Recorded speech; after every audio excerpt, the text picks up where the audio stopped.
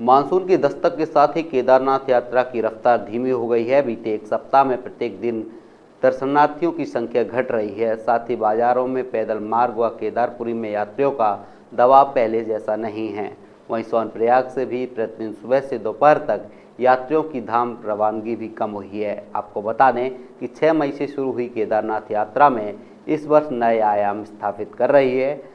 कापाटोर घाटन पर जहाँ रिकॉर्ड तेईस हज़ार पाँच सौ बारह श्रद्धालुओं ने दर्शन किए थे, वहीं यात्रा के शुरुआती छः दिनों में ही धाम में दर्शनार्थियों का आंकड़ा एक लाख के पार पहुँच गया था।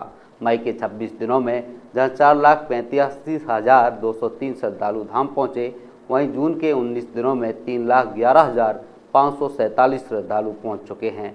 जानकारी के अनुसार, मानसून की दस्तक के साथ ही केदारनाथ में यात्रियों की संख्या में भी कमी आने लगी है। desk report MKN News.